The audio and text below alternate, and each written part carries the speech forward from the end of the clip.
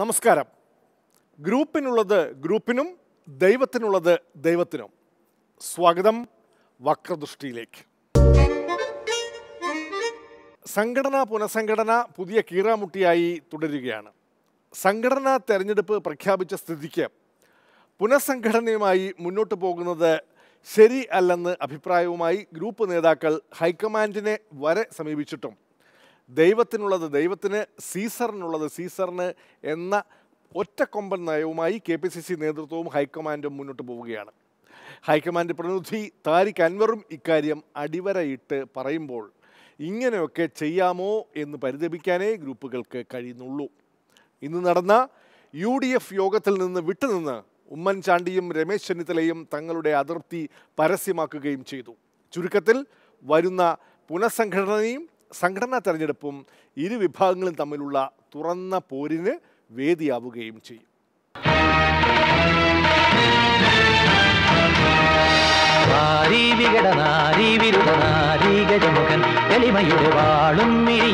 ും. കൊടിയ തീയും തികയുവോ?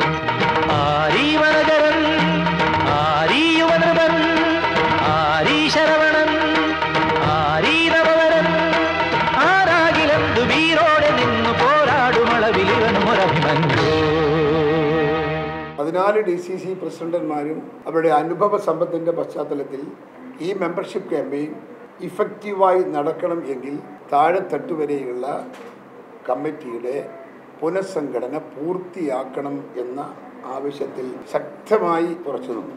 ഇങ്ങനെയൊക്കെ ചെയ്യാമോ? അറിയിക്കാതെ ചെയ്യാമോ? അറിയിക്കാതെ ചെയ്യാമോ? കഞ്ഞിയും പയറും ഞങ്ങൾക്ക്. നാല് അഞ്ച് ആളുകൾ ഒഴിവാക്കി ബാക്കി മുഴുവൻ ആളുകളും ഒറ്റക്കെട്ടായി ഈ അഭിപ്രായത്തോട് യോജിപ്പ് പ്രകടിപ്പിച്ചു. അതിന്റെ അടിസ്ഥാനത്തിൽ ഭൂരിപക്ഷ പ്രകാരം കെ എസ് യുവിന്റെ എല്ലാ ആളുടെയും പൾസ് അറിഞ്ഞുകൊണ്ട് ഇന്നലെ നിർവാഹക സമിതി എടുത്ത തീരുമാനം പുനഃസംഘടന പുനഃസംഘടനയുടെ വഴിക്കും മെമ്പർഷിപ്പ് ക്യാമ്പയിൻ മെമ്പർഷിപ്പ് ക്യാമ്പയിന്റെ വഴിക്കും നടക്കാനാണ് തീരുമാനം. പിന്നെ കഞ്ഞി കുടിക്കാൻ മഴയില്ലാത്ത കുടുംബത്തിൽ നിന്നല്ല ഞാൻ വരുന്നത്. പിന്നെന്താ ഉള്ളിന്റെ ഉള്ളിൽ സ്വല്പ കലയുണ്ടായി പോയി പക്ഷെ ചൂഷണം അതാരും ഇതല്ല എതിർക്കും. ഞാനൊരു കാര്യം പറയട്ടെ? ഇത് ഞാനിപ്പോൾ ഇന്ന് എനിക്ക് മത്സരിക്കാൻ വേണ്ടി ഒന്നും പറയുന്നതല്ല. കോൺഗ്രസിനെ പോലത്തെ ഒരു രാഷ്ട്രീയ പ്രസ്ഥാനത്തിനകത്ത് ഡെമോക്രസി വേണം എന്നും എത്രയോ വർഷമായി. ഞാൻ രാഹുൽ ഗാന്ധിനെയും അതുപോലെ സോണിയാജിയും മാഡത്തെയൊക്കെ ഞാൻ കണ്ടപ്പോൾ കാണുന്ന എല്ലാ അവസരത്തിലും ഞാൻ ഓർമ്മിപ്പിക്കുന്ന ഒരു വിഷയമാണ് ഇലക്ഷൻ സംഘടനാ ഇലക്ഷൻ അതൊരു ജന ഇന്ത്യയ്ക്ക് ജനാധിപത്യം കൊടുത്ത ഒരു പാർട്ടിക്കകത്ത് ഡെമോക്രസി ഇല്ല എന്ന് പറയുന്നത് വൈരുദ്ധ്യമാണ്. ജോസിന്റെ എല്ലാ പ്രവർത്തനവും നമ്മുടെ നാടിന്റെ വികസനത്തിനാണല്ലോ എന്ന് ഓർക്കുമ്പോ ഒരാശ്വാസം. തെരഞ്ഞെടുപ്പ് എന്താ? തെരഞ്ഞെടുപ്പ് എന്ന് പറയുന്നത് പുതിയ നേതൃത്വം വരാനാണ് തെരഞ്ഞെടുപ്പ്. ഞാൻ അങ്ങനെ ജയിച്ചു വന്ന ആളിനാണ് സംഘടനാ രംഗത്ത് രാഷ്ട്രീയ രംഗത്ത് ഞാൻ സംഘടനാ രംഗത്ത് മത്സരിച്ച് ജയിച്ചു വന്ന ഡി സി പ്രസിഡന്റാ. എന്റെ രാഷ്ട്രീയ ഉദയം എവിടെയാണ് അത് പറഞ്ഞാൽ എന്താ കുഴപ്പം? അതുകൊണ്ട് ഇലക്ഷൻ നടത്തുന്നത് K P D C C അല്ലല്ലോ കെ പി സി സി അല്ലല്ലോ. ഇലക്ഷൻ നടത്തുന്നത് ഇലക്ഷൻ കമ്മീഷൻ. അത് മുകളിൽ വെച്ചിട്ടുണ്ട്. അവരുടെ ആളുകൾ വരും. അവരാ നടത്തുന്നത്. അതല്ല ഹൈക്കമാൻഡ് തീരുമാനിക്കട്ടെ. സാധാരണഗതിയിൽ തെരഞ്ഞെടുപ്പ് പ്രക്രിയ ആരംഭിച്ചു കഴിഞ്ഞാൽ പിന്നെ പുനഃസംഘടന പ്രക്രിയയായിട്ട് പോകാ സാധാരണഗതിയിൽ പോകാറില്ല. ഇത്തരം കാര്യങ്ങളൊക്കെ ഹൈക്കമാൻഡ് തീരുമാനിക്കട്ടെ എന്നാണ് ഞങ്ങളുടെ നിലപാട്. സംഘടനാപരമായ ദൗർബല്യം ആണ് പരാജയത്തിന് കാരണം എന്ന് കണ്ടെത്തിയിട്ടുണ്ട്. ആ പരാജയത്തിന്റെ കാരണം ആയ സംഘടനാപരമായ ദൗർബല്യം പരിഹരിക്കാൻ വേണ്ടിയിട്ടാണ് ഇന്ന് കെ പി സി സിയുടെ നേതൃത്വത്തിൽ നടത്തിക്കൊണ്ടിരിക്കുന്ന ശ്രമങ്ങൾ. യു അതിന്റെ ഒരു കമ്പോണന്റാണ് ആണ് ഒരു ഘടകമാണ് പുനഃസംഘടന. മറ്റൊരു ഘടകമാണ് കോൺഗ്രസ് യൂണിറ്റ് കമ്മിറ്റികൾ സി യു സികൾ എല്ലാ ബൂത്തുകളിലും വരുന്നത്. അപ്പോൾ ഇതെല്ലാം വളരെ ഭംഗിയായിട്ട് കൊണ്ടുപോകും. ഇത് ഇതിനൊന്നും ഒരു തടസ്സം ഉണ്ടാവില്ല. ആ സേഡികൾ ചില്ലറക്കാരില്ലെന്ന് ഞാൻ അന്നേ പറഞ്ഞല്ലേ ബിസിനസ് ഇനിയും തുടരാൻ പറ്റുമെന്ന് തോന്നുന്നില്ല. സ്ഥാനങ്ങൾ കിട്ടുമ്പോൾ മാത്രം ചിലർ ഗ്രൂപ്പ് ഇല്ലെന്ന് പറയാറുണ്ട്.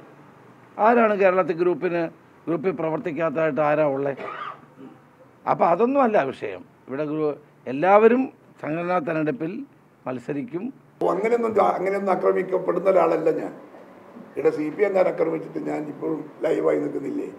ബോംബ് നാല് ഭാഗത്തുനിന്നും ബോംബ് വർഷിച്ചിട്ട് പോലും കേസ് സുധാകരൻ ഇപ്പോഴും ജീവിക്കുന്നില്ലേ?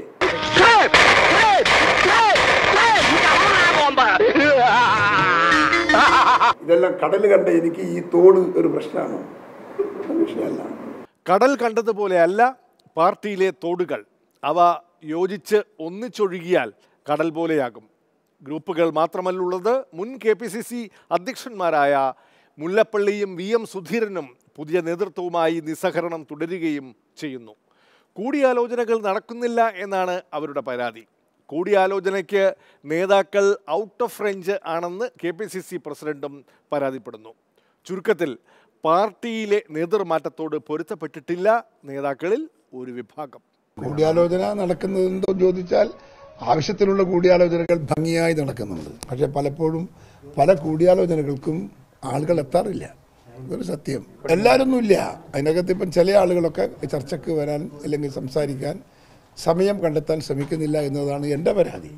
എടാ എന്റെ അവസ്ഥ ഒന്ന് ആലോചിച്ചോ ഒരു പൂവെടുത്ത് ചെവിയിൽ വെച്ചിട്ട് റോഡിൽ കൂടി ഒന്ന് ഓടിയാലോ എന്ന് ആലോചിച്ചിരിക്കുകയാണ് ഞാൻ. പി എം സുധീറിനെ വിളിക്കാറുണ്ട് മുല്ലപ്പള്ളി രാമചന്ദ്രനെ വിളിച്ചിരുന്നു. എല്ലാ ആളുകളും വിളിക്കാറുണ്ട്. പക്ഷേ പലരും പ്രതികരിക്കാറില്ല. എനിക്കൊരു ചെറിയ കാര്യം വന്നപ്പോ വിളിച്ചാ ഫോൺ എടുക്കൂല. നീ എപ്പോ വിളിച്ചെന്നാ പറയണത്? നീ വിളിച്ചിട്ടുണ്ടെങ്കിൽ എടുത്തിട്ടുണ്ടാവും. സഖാവ് എത്ര വട്ടം ഞാൻ വിളിച്ച്? ഏ അങ്ങനെ പറയരുത്. വിളിച്ചിട്ടുണ്ടെങ്കിൽ എടുക്കും. നിങ്ങളിൽ ആർക്കെങ്കിലും അത്തരം അനുഭവം ഉണ്ടായിട്ടുണ്ടെങ്കിൽ അത് ആദ്യം പറയൂ. മുല്ലപ്പള്ളി രാമചന്ദ്രനെയും ഞാൻ പലവട്ടം വിളിച്ചിട്ടുണ്ട് പക്ഷേ അദ്ദേഹം ഫോൺ എടുക്കാറില്ല. അതുകൊണ്ട് ഇപ്പം പിന്നെ സംസാരിക്കാറില്ല. ആ എടുക്കണ്ടാത്ത നമ്പറൊക്കെ ഞാൻ ഇങ്ങനെ കോപ്പൻ എഴുതി വെക്കും. കണ്ട?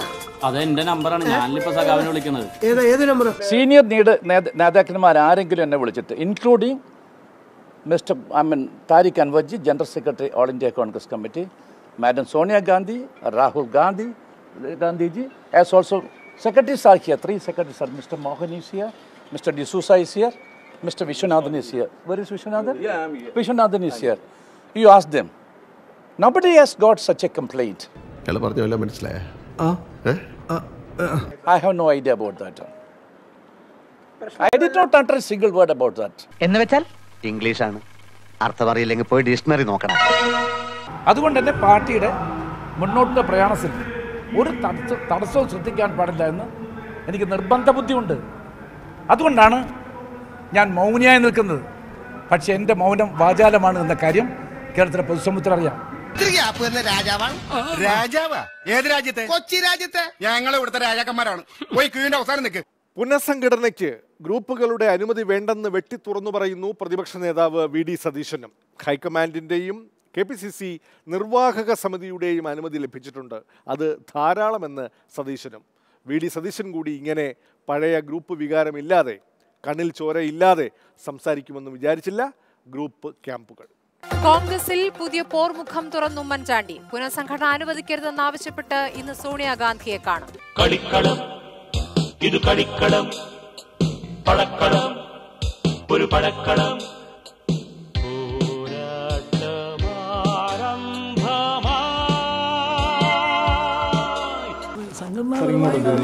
കാര്യങ്ങൾ പറയാനുള്ളത് പറഞ്ഞിട്ടുണ്ട്. പറഞ്ഞിട്ടുണ്ട്. ഞാൻ പറഞ്ഞില്ലേ? പറയാനുള്ളത് പറഞ്ഞിട്ടുണ്ട്. ഹൈക്കമാൻഡിന്റെ അനുവാദം ഞങ്ങൾ വാങ്ങിച്ചിട്ടുണ്ട് പുനഃസംഘടനയ്ക്ക്. കെ പി സി സിയുടെ എക്സിക്യൂട്ടീവ് കമ്മിറ്റിയുടെ അനുവാദവും വാങ്ങിച്ചിട്ടുണ്ട്. ഇത് രണ്ടും മതി ധാരാളം. യുദ്ധത്തിൽ പിതാവോ പുത്രനോ അമ്മാവനോ അനന്തരവനോ ആരുമില്ല. ശത്രു മാത്രമേ ഉള്ളൂ. കോൺഗ്രസ് പ്രസിഡന്റിനോട് സംസാരിച്ച കാര്യങ്ങൾ ഡീറ്റെയിൽസ് ഞാൻ പറയുന്ന പറയാൻ പാടില്ലല്ലോ. ഞാൻ സംസാരിച്ചിട്ടുണ്ട്. അതാണ് എല്ലാ പ്രശ്നങ്ങൾക്കും പരിഹാരം ഉണ്ടാകും ആ കാര്യങ്ങൾ കോൺഗ്രസ് ഹൈക്കമാൻഡിന്റെ ഭാഗത്താണിപ്പോൾ. ഉമ്മൻ- മുൻ മുഖ്യമന്ത്രി ശ്രീ ഉമ്മൻചാണ്ടി സോണിയ കോൺഗ്രസ് പ്രസിഡന്റിനെ കണ്ട് കാര്യങ്ങൾ ധരിപ്പിച്ചിട്ടുണ്ട്. അതിനപ്പുറത്തേക്ക് എനിക്കൊന്നും പറയാൻ പുനഃസംഘടനയെ സംബന്ധിച്ച് അങ്ങനത്തെ ഒരു പരാതി ആരും പറഞ്ഞതായിട്ട് എനിക്ക് അറിയില്ല പുനഃസംഘടന നമ്മുടെ K P C C executive കൂടി തീരുമാനമെടുത്താണ് അഖിലേന്ത്യാ കോൺഗ്രസ് കമ്മിറ്റിയും തന്നിട്ടുണ്ട്. ഇന്ത്യയിലെ എല്ലാ സംസ്ഥാനങ്ങളിലും പുനഃസംഘടന നടക്കുന്നുണ്ട്.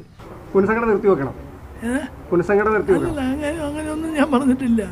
ഞാൻ സംഘടനാ കാര്യങ്ങൾ ചർച്ച ചെയ്തെന്ന് മാത്രമേ പറഞ്ഞിട്ടുള്ളൂ. ഒരു വർഷം എടുക്കുന്ന പ്രോസസ്സാണ് ഇതെല്ലാം.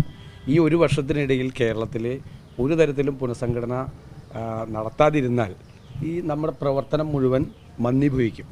അങ്ങനെ പ്രവർത്തകരാരും ആഗ്രഹിക്കുന്നില്ല. കാരണം ഒരു ചേഞ്ചാണ് എല്ലാവരും ആഗ്രഹിക്കുന്നത്. എനിക്ക് അതിന് വ്യക്തമായ അഭിപ്രായമുണ്ട് പക്ഷേ അത് നിങ്ങളോട് ഇപ്പം പറയാൻ പറ്റുകയില്ല.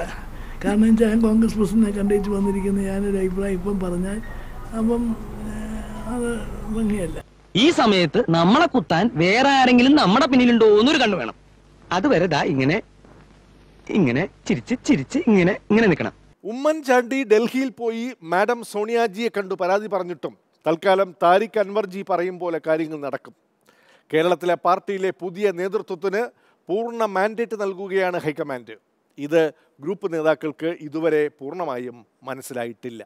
The party uh, election the, uh, will take place and uh, from the grassroots, from the mandal to mandal committee to up to the election will take place. അല്ലേലും ഈ തല്ലിപ്പൊളി കമ്പനിയിലെ ജോലി ഞങ്ങൾക്ക് പ്രശ്നമല്ല.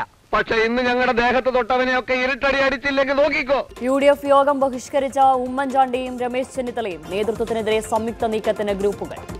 അളിയ അളിയന്റെ മനസ്സ് കാണാൻ ഞാൻ വൈകി പോയി എതിർ ഗ്രൂപ്പിൽ നിന്ന് അളിയനെതിരെ കളിച്ചതിന് എന്നോട് പൊറുക്കണം. അതൊന്നും സാരമില്ല. ഇന്നത്തെ യോഗം ഈ രാജ്യസഭാ തെരഞ്ഞെടുപ്പ് നടക്കുന്നതുകൊണ്ട് ഒരു അടിയന്തര യോഗമായി വിളിച്ചതാണ്. കെ പി സി സി പ്രസിഡന്റും ഉണ്ടായിരുന്നില്ല. ഇവരും യോഗത്തിനെത്തിയിരുന്നില്ല യു ഡി എഫ് യോഗം കഴിഞ്ഞ് യോഗ തീരുമാനങ്ങൾ വിശദീകരിച്ച എം എം ഹസന് രണ്ട് പ്രധാന നേതാക്കൾ യു ഡി എഫ് യോഗത്തിൽ പങ്കെടുക്കാതിരുന്നതിന് കാരണവും നിരത്താനുണ്ടാകും. ഇരുവരെയും യോഗത്തിന് വിളിച്ചിരുന്നു. എല്ലാവരെയും നേരിട്ട് ഞാൻ വിളിച്ചു പറഞ്ഞതാണ്. ഇന്നലെയും ഓർമ്മിപ്പിച്ചതാണ്. എന്നാൽ എന്താണ് പങ്കെടുക്കാതിരുന്നതിന് കാരണം? അല്ല ഏതായാലും നിങ്ങൾക്ക് നിങ്ങൾ ആഗ്രഹിക്കുന്ന ആവശ്യപ്പെടുന്ന മറുപടി തീർച്ചയായിട്ടും പങ്കെടുക്കാത്ത നേതാക്കളോട് ചോദിക്കുന്നതിലെ ഉചിതം. പങ്കെടുക്കില്ലെന്ന് അറിയിച്ചിരുന്നു. ഇല്ല ഞാൻ അവർ ഇന്ന് രാവിലെയും ബന്ധപ്പെട്ടതാണ്. പങ്കെടുക്കുമെന്നാണ് എന്നോട് പറഞ്ഞിരുന്നത്. ഉമ്മൻചാണ്ടി ഡൽഹിയിൽ വരെ പോയി ആവശ്യപ്പെട്ടിട്ടും പരിഗണിക്കപ്പെടാത്തതിലുള്ള പ്രതിഷേധമാണോ? പലതും പറയാനുണ്ടെങ്കിലും പറയാനാവാത്തത് ഇപ്പോഴത്തെ നേതൃത്വത്തോടുള്ള അടുപ്പം കൊണ്ടാണോ? ഞാൻ നേതൃത്വത്തിന്റെ ആളല്ലോ. പിന്നെ അഴിക്കുന്നത് എങ്ങനെയാണ് ഞാൻ നേതൃത്വത്തിൽ ഇപ്പോഴും തുടരെ. അല്ലാതെ ഞാൻ നേതൃത്വത്തിൽ തുടരുന്ന ആൾ അടുക്കുകയും ചെയ്ത പ്രശ്നമില്ലല്ലോ.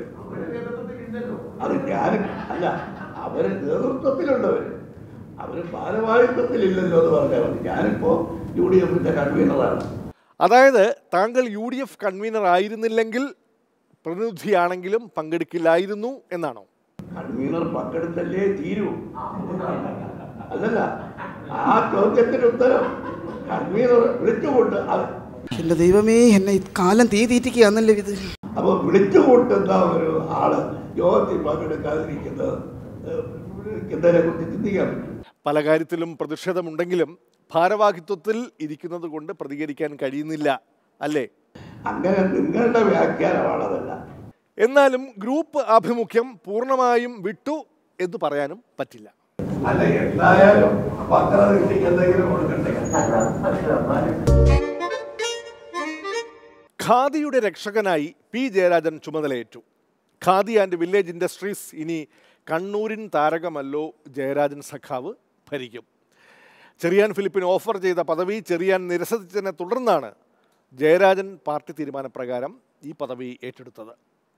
കണ്ണൂർ ജില്ലാ സെക്രട്ടറി സ്ഥാനമൊഴിഞ്ഞ് മത്സരിക്കാൻ പോയ ജയരാജന് പാർട്ടി സ്ഥാനം നഷ്ടമായതിനെ തുടർന്ന് പ്രത്യേകിച്ച് ചുമല ചുമതലകൾ ഇല്ലാതിരിക്കുകയായിരുന്നു. ഇനി ഖാദിയെയും ഗ്രാമീണ വ്യവസായത്തെയും സേവിക്കാം.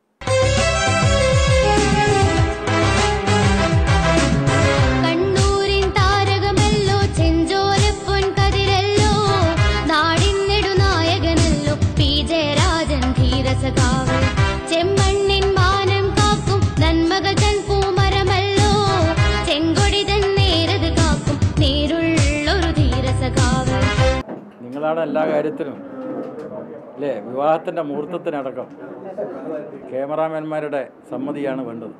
പോരാട്ടം മാത്രമതല്ലോ ജയരാജന് ജീവിത ലക്ഷ്യം. പോരാട്ടം മാത്രമതല്ലോ ജയരാജന് ജീവിത ലക്ഷ്യം. ബഹുമാനപ്പെട്ട കേരള ഗവൺമെന്റിന്റെ ഉത്തരവനുസരിച്ച് ഖാദിയൻ വില്ലേജ് ഇൻഡസ്ട്രീസ് ബോർഡിന്റെ വൈസ് ചെയർമാനായി നിങ്ങളുടെ സാന്നിധ്യത്തിൽ ചുമതല ഏറ്റെടുത്തിരിക്കുകയാണ്. സി പി എം സംസ്ഥാന സമിതി അംഗമായ താങ്കൾ വഹിക്കേണ്ട പദവിയാണോ ഇതെന്ന് ഒരു സംശയം തോന്നിയാൽ? ഇവിടെ ഞാൻ നേരത്തെ പറഞ്ഞതുപോലെ നമ്മുടെ രാഷ്ട്രം രൂപപ്പെടുത്തിയിട്ടുള്ള ദേശീയ പ്രസ്ഥാനത്തിന്റെ ഭാഗമായി ആരംഭിച്ച ഒരു മഹത്തായ പ്രസ്ഥാനമാണ് ഖാദി പ്രസ്ഥാനം. ആ ഖാദി പ്രസ്ഥാനം ഏറ്റവും മഹത്തായ ഒരു സ്ഥാപനമാണ്. അതിന്റെ ചുമതലയേൽക്കുന്നതിൽ എന്നെപ്പോലെയുള്ള ഒരു പൊതുപ്രവർത്തകന്മാ പൊതുപ്രവർത്തകന് അങ്ങേയറ്റം അഭിമാനം മാത്രമേ ഉള്ളൂ. ആ അഭിമാനത്തോടു കൂടിയാണ് ഞാൻ ചുമതല ഏറ്റെടുത്തിട്ടുള്ളത്. അപ്പൊ വടിവാൾ കൊടുവാളും എടുത്തു വെക്കാൻ പറഞ്ഞതോ? അതൊക്കെ ഏതെങ്കിലും ഒരു കൊല്ലന് കൊടുത്ത് അരിവാളാക്കിയിട്ട് കൊയ്യാൻ കൊടുത്തൂടെ? വേസ്റ്റ്. അപ്പൊ നിന്നെ കൊണ്ട് നീ ഒന്നിനും കൊള്ളില്ല എന്നർത്ഥം. അലിയൻ അങ്ങനെ വിധി കൽപ്പിക്കരുത്. അഹിംസ കൊണ്ടുണ്ടായ നേട്ടങ്ങളുടെ ഒരു പട്ടിക ഞാൻ അങ്ങ് നിരത്തി തരാം. ഖാദി പ്രസ്ഥാനം ബ്രിട്ടീഷ് വിരുദ്ധ സ്വാതന്ത്ര്യ സമര പ്രസ്ഥാനത്തിന്റെ ഭാഗമായി രൂപപ്പെട്ടതാണ് ചുമതല ഏറ്റ ചുമതലയേറ്റ ദിവസം പി. ജയരാജന്റെ ജന്മദിനം കൂടിയായിരുന്നു. ഒരു കേക്ക് കൂടി മുറിച്ച് ജന്മദിനം കൂടി ആഘോഷിക്കാമായിരുന്നു. അത് വേണ്ട അത് വേണ്ട. അത് നമുക്ക് പിന്നെ അതൊരു പിന്നെ എതിർ പ്രചാര വേലക്ക് ഇടയാക്കണ്ട. ഇപ്പോൾ ചാർജ് എടുത്തത് മാധ്യമങ്ങളിൽ നല്ല നിലയ്ക്ക് വാർത്തയായിട്ട് വരട്ടെ. ഏ ഖാദി പ്രസ്ഥാനത്തിന്റെ ഖാദി പ്രസ്ഥാനത്തിന്റെയും ഗ്രാമ വ്യവസായ പ്രസ്ഥാനത്തിന്റെയും പ്രചരണം എല്ലാ മേഖലയിലും എത്തിക്കുന്നതിന് മാധ്യമങ്ങൾ നല്ല നിലയ്ക്ക് പിന്തുണ നൽകണം.